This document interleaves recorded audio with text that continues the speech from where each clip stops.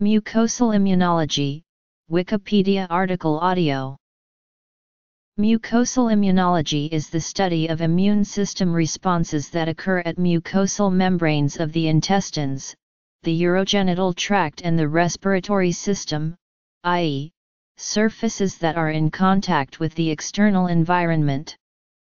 In healthy states, the mucosal immune system provides protection against pathogens but maintains a tolerance towards non-harmful commensal microbes and benign environmental substances. For example, in the oral and gut mucosa, the secretion of IgA provides an immune response to potential antigens in food without a large and unnecessary systemic immune response.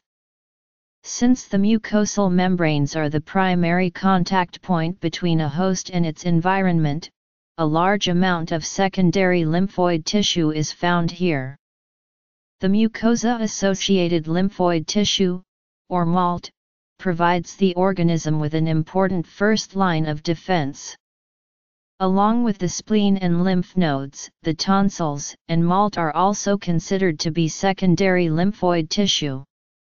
The mucosal immune system provides three main functions, serving as the body's first-line defense from antigens and infection, preventing systemic immune responses to commensal bacteria and food antigens, and regulating appropriate immune responses to pathogens encountered on a daily basis.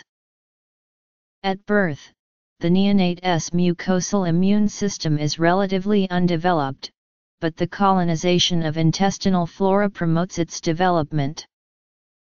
Because of its frontline status within the immune system, the mucosal immune system is being investigated for use in vaccines for various afflictions, including AIDS and allergies.